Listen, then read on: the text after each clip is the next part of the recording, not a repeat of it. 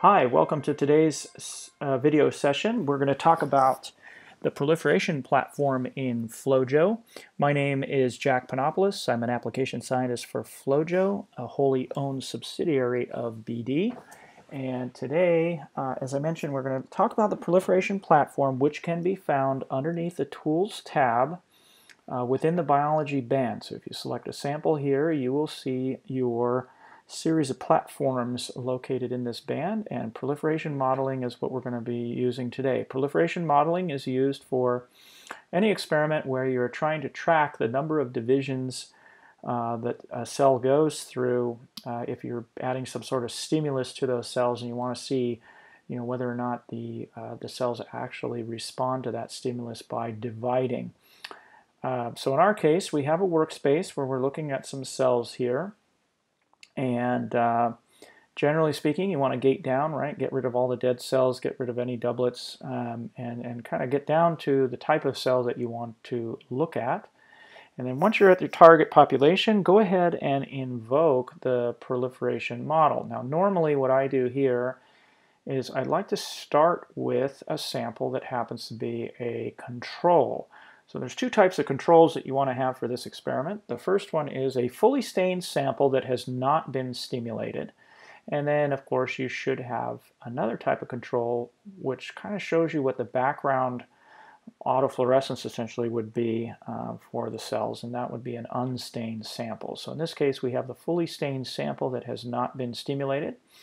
So the graphic that pops up here shows you on the x-axis, you're going to see hopefully the channel that um, has the intercalating dye or the dye that you're using to monitor the divisions. In our case, this is the CFSE dye. It's kind of a greenish colored dye. Uh, go ahead and find the sample that is uh, not been stimulated but is fully stained. As I mentioned, I did this already. Uh, that's the first sample in my group. So once you have found that sample, if you want, you can copy the proliferation node to the rest of the samples by using the right-click menu where it says Copy Analysis Group. You can also drag and drop the proliferation node onto the group of choice, onto the uh, target population as well, and then that way all other samples will get the proliferation node. Then you can kind of rotate through your samples here, just, you know, looking for the ones that uh, that have that non-stim or the non-stimulated but fully stained sample. In this case, you can see we really don't have any other divisions. This is where our, our undivided peak is. So I'd like to start with this sample. Go ahead and click and drag across the peak there. The minute you let go of your mouse, it'll give you this little drop down that says fix peak zero. Okay, I like to shift this a little bit towards the right kind of, you know, make sure that if we have any other samples that might be slightly brighter, you know, just shift it a little bit to the right that we encompass those um, so that this is in the right spot. You can use the tool here in the upper left if you would like to to draw that gate. Otherwise, just click and drag in the uh, platform itself. Once you have set the undivided peak, find that particular sample. You can do so by looking at the blue diamond here, and then I would again copy this to the rest of the group because you want to use that undivided peak it needs to be the same across all the samples that you want to compare. So once that's set up, we can kind of rotate through the rest of our samples here. And the next sample I want to deal with really is I'm looking for a sample that has the most number of divisions and that are easy to see. So this sample is pretty good. I can count the divisions here. This looks like I have got one peak, two peaks, three peaks, four, five, six, and probably a seventh over here.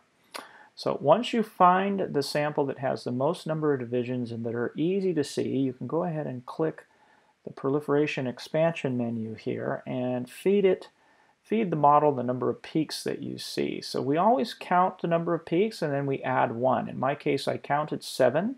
So I'm going to add one to it and I'm going to make it eight. Okay, the minute we adjust that value, you will notice here in the right-hand pane, there's going to be a series of generational statistics. So you have your undivided peak. It tells you how many cells are in that particular region, and then generation 1, 2, 3, 4, so on and so forth for each one of these peaks. If you want to visualize those peak numbers down here where it says graph. Tick the box that says show peak numbers. A little bit hard to see, but there's 0, 1, 2, 3, 4, etc. all the way on through. You can also draw the model sum if you would like while you're here, so you can kind of see what FlowJo is modeling. The red line in this case is the model. The black line represents the boundary with the raw data, right? So the, the actual data is the black line. Now, in general, the proliferation model does a pretty good job to try and you know figure out how many cells you have here uh, per generation. and It tries to adjust the uh, width of all of the uh, peaks here so that they are reasonable. Uh, but you still have control over this and you can actually modify it. And uh, what we're going to do here is we're going to try and modify this, uh, this model so that we can reduce what's called the root mean squared value. The root mean squared is just a measure of the distance between the model and uh, the raw data. So the lower this number is, the better the model fits the actual data. And it's kind of a combination of what you see by eye and uh, the values that you see in the root mean squared. There are some other statistics here as well, all of the indices related to uh, the division of cells at the sort of top right, and then the statistics that are associated with the model itself. We have eight peaks.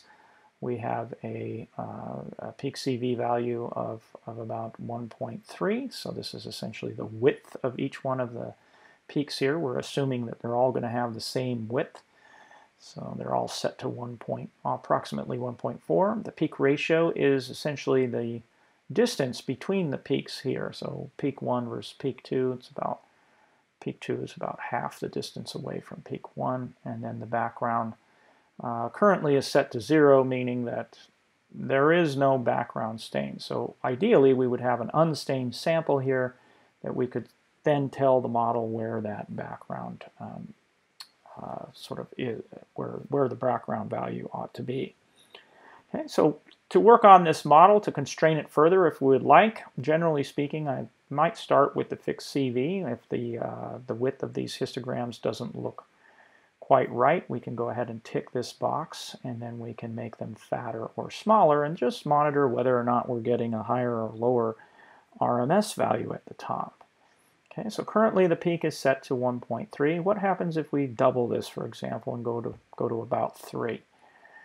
You can see that we quickly make these histogram, uh, each peak histogram width uh, quite a bit wider.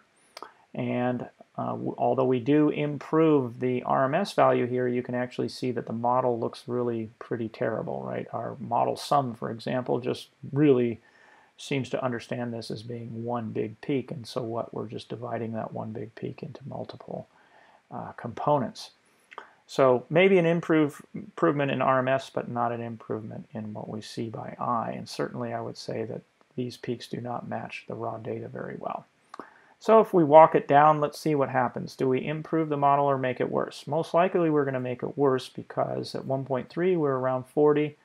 At 3 we went up to 90. Here we're at a value of 2, and we can see that we've got a value of around 50. Now this matches a little bit better, uh, but I would say it's probably still, those peaks are still a little bit too fat. Come in here, go ahead and change that maybe to 1.5, looking a little bit more reasonable. Okay. If your peaks are shifted towards the right or towards the left, you can use the fixed ratio box here to change the values. So if you need the stuff to move towards the left, lower the value to about, I don't know, somewhere between 0.4 and 0.5.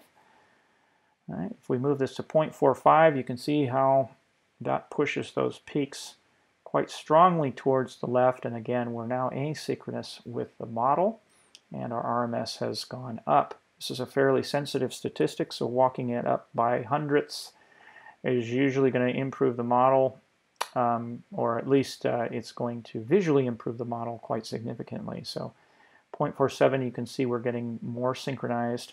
If we go up here to 0.5, uh, still probably need a little bit more of a model shift toward the right. Technically, we shouldn't have a value here greater than 0.5 simply because that means that you're actually getting more than 50% of the dye to each daughter cell every time it divides. So to sort of artificially push these peaks towards the right. If you're already at 0.5, you can tick the fixed background here, and then you can walk this up. Now, normally I'll say, I don't know, the background is probably around 500, maybe 1,000, something like that. So we can enter that value in and see what happens. We still have a model here that tries to model the peaks, but as you can see, we're shifting those peaks a little bit more to the right, which fits the model, in my opinion, a little bit better. So maybe a background of 500 is, is pretty good. If we march this on up to say 700, what happens to our RMS? Eh, it goes down a little bit, but not a lot, right? If we're at 80 and we give it a background increase of 200, it's kind of a marginal improvement in the uh, in the model. So we're probably right around the sweet spot of fixing the model and getting the visualization um, kind of you know both hand in hand going well together.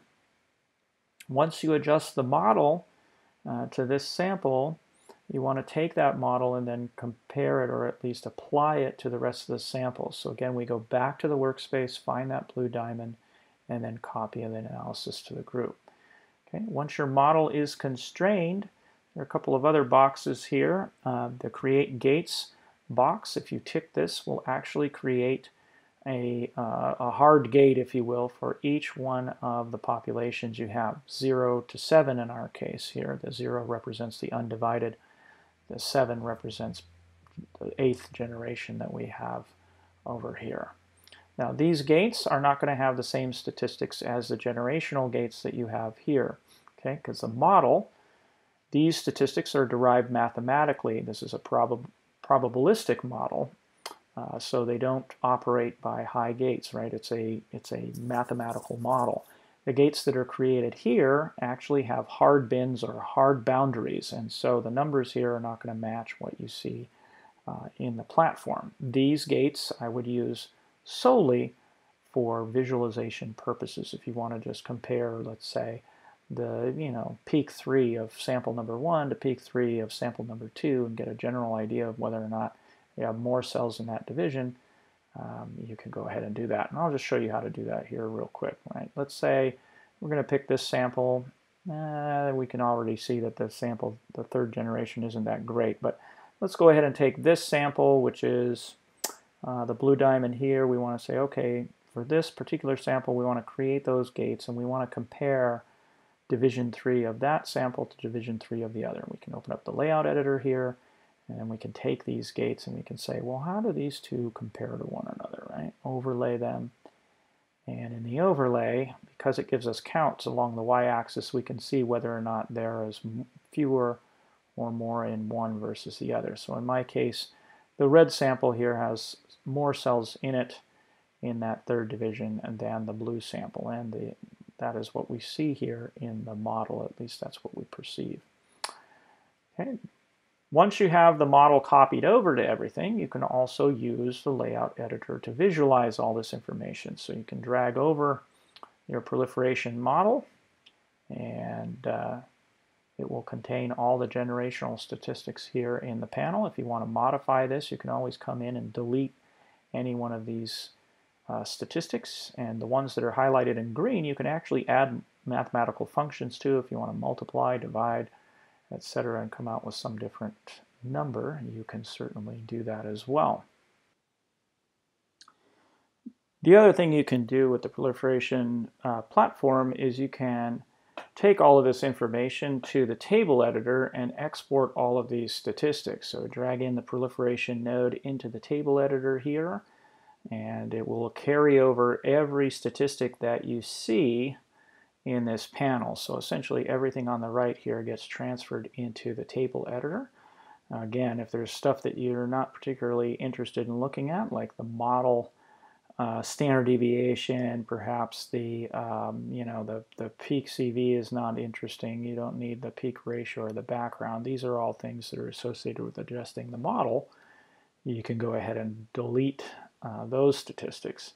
Everything else might be of interest to you, in which case you can go ahead and heat map it if you'd like, cog it, create the batch report.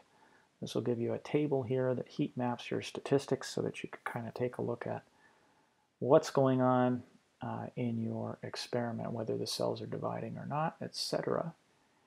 And of course, you can export this as a CSV or an Excel file if you would like. Thank you for listening, and we look forward to seeing you again in the near future. Thank you.